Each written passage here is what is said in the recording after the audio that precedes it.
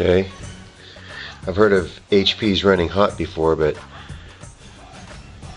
never happened to me personally. Look at this. It got so hot. Look at this. Look at it's all charred inside. Melted the plastic. This is a HP notebook.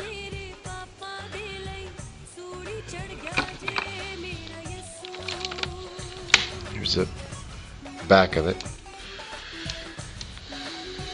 Burned. That it's all melted plastic.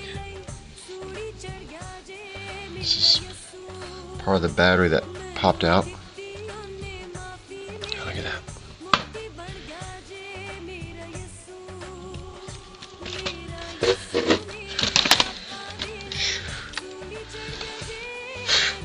Man, it stinks. It's like hot plastic, um, chemicals, and everything else.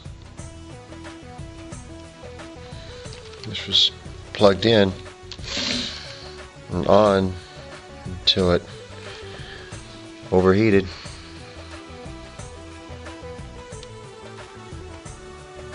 Just all exploded out.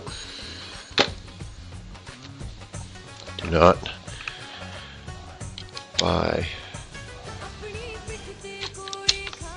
notebooks or laptops from this company. It's pretty sad. It's pretty sad.